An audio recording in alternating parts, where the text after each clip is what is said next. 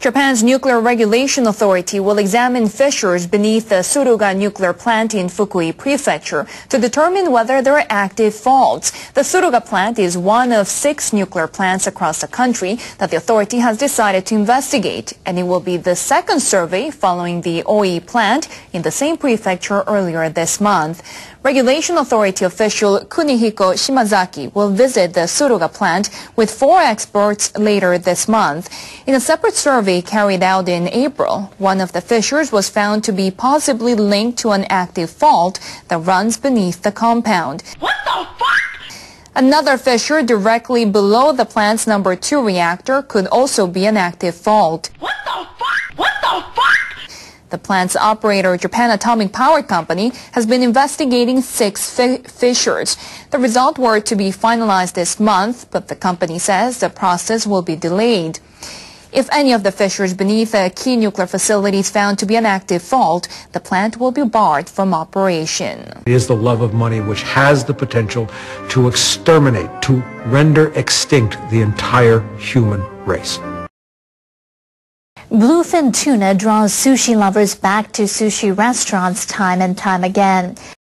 Fishery delegates from around the world are meeting in Morocco to discuss how to manage the fish in the Atlantic Ocean and Mediterranean Sea. They were at odds with conservationists before the talks even began.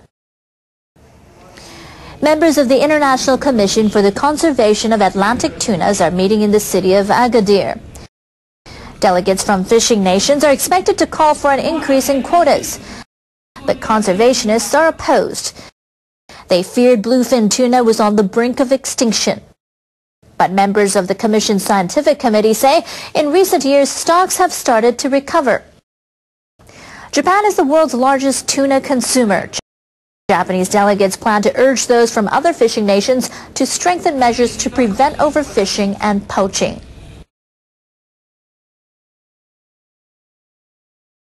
International Energy Agency leaders have lowered their growth forecast for nuclear power generation. Some governments are starting to reduce their reliance on the energy source. Last year's IEA report stated nuclear power generation could grow by 70% from 2010 levels. But this year, the organization expects a 58% growth by 2035. Agency officials say last year's accident at Japan's Fukushima Daiichi nuclear power plant is a factor, as is Germany's and Switzerland's reduced dependence on atomic energy. They also expect power generation from renewable sources like wind and solar to increase, accounting for about a third of the world's total output by 2035.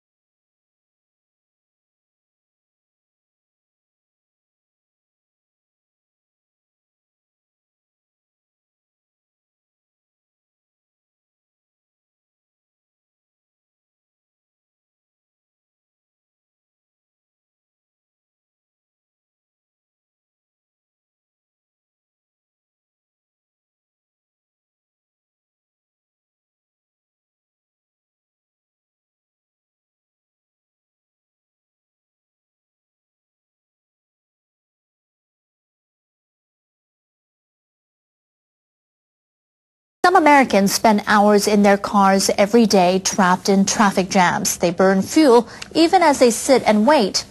The people at the International Energy Agency say much of that fuel could soon come from domestic sources. They say the U.S. will become the world's largest oil producer within five years.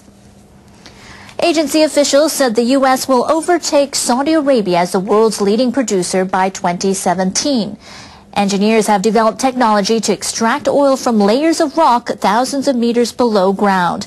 Energy company workers are already producing shale oil. And they're expected to produce more and more shale gas, natural gas trapped in those underground layers. Agency spokespersons say the U.S. will be nearly self-sufficient in energy by 2035. Americans rely on imports for 20% of their domestic energy needs. The spokespersons say once Americans become self-sufficient, they may start showing less interest in the Middle East and other oil-producing regions.